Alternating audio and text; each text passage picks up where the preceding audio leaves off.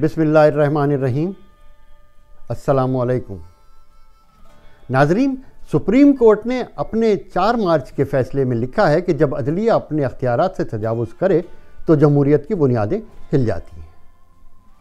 सवाल ये है कि क्या पाकिस्तान में हकीकता जमहूरियत है भी?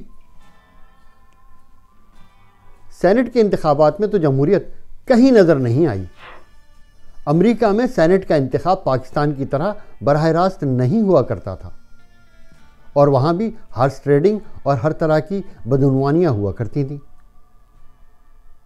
तंग आकर उन्होंने 1913 में आइनी तरमीम के ज़रिए सेनेट के इंतखब को बरह रास्त आवाम के वोटों से करते हुए उसे इदारों को जमहूरी और बाख्तियार बनाने का फ़ैसला किया।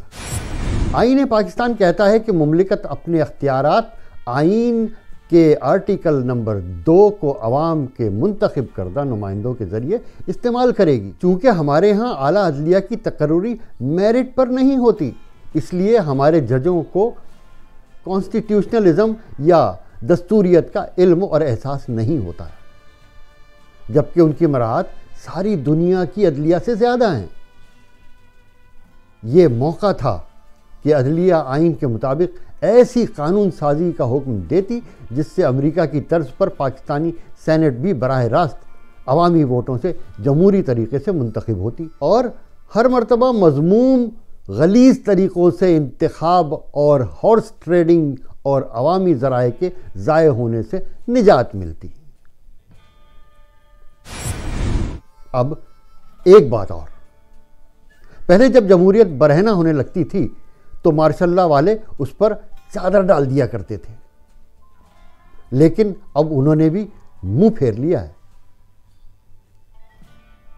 या फिर ये उनके काबू में नहीं रही, वरना ऐसी नौबत तो पहले कभी नहीं आई थी कि जिसे चोरों का साथी कहकर खुद वज़ीर आज़म हाउस से निकलवाया हो, उसे ही सेनेट का चेयरमैन बनने का मौका फराहम किया हो।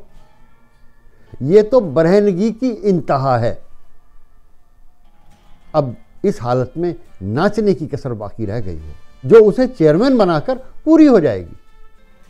फिर नंगी जमहूरियत का इंतकाम मुकम्मल हो जाएगा। और वो फ़ख्र के साथ ये नारा लगा सकेगी कि मेरा जिसम मेरी मर्ज़ी और कोई उसका कुछ नहीं बिगाड़ सकेगा। तो दोस्तों, ये थी आज की वीडियो। उम्मीद है आपको पसंद आई होगी। तो देर किस बात की? लाइक कीजिए, शेयर कीजिए। और सब्सक्राइब भी कर लीजिए। अगर अभी तक सब्सक्राइब नहीं किया है तो अगली वीडियो तक के लिए शरीफ फरीदी को इजाज़त दीजिए। अल्लाह हाफिज़।